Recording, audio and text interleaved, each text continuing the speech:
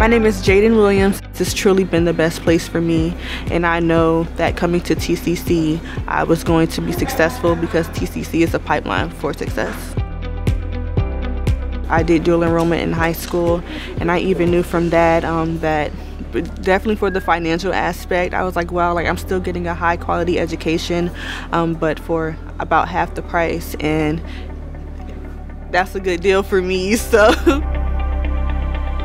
The STEM Promise program is a full two-year tuition scholarship at Tidewater Community College. Within that scholarship, I was able to um, even just be developed as a student, a leader, and a professional. I have graduated with my associate's degree in cybersecurity. From that, I attended Old Dominion University and I was a recipient of another full ride scholarship, um, the CyberCorps Scholarship for Service Scholarship.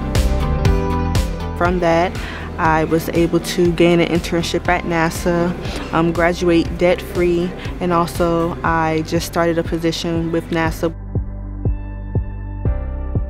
It's so true. I've just been able to excel and soar and also um, be an example for others because I know that a lot of people first choice isn't community college. You know, we're kind of attracted to the four-year institutions, but I knew um, just by even going here and actually developing myself as a student first, it would fare me out better in the end.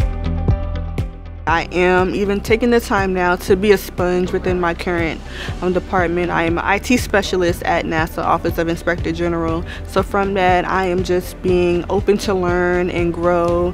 Being at NASA is definitely, um, I would say, a dream come true. I found my answer at a Virginia Community College.